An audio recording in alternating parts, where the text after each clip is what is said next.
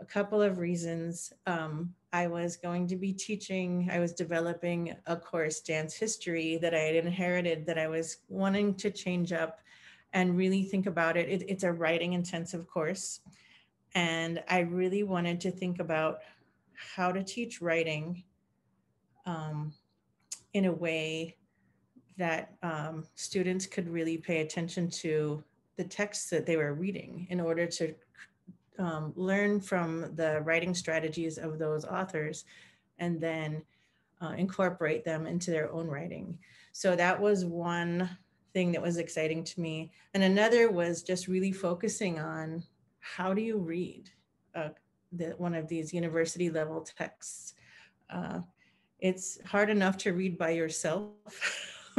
and so when you get to read with your um, with co-students, uh, it's really wonderful um, for the students to share their knowledge with each other.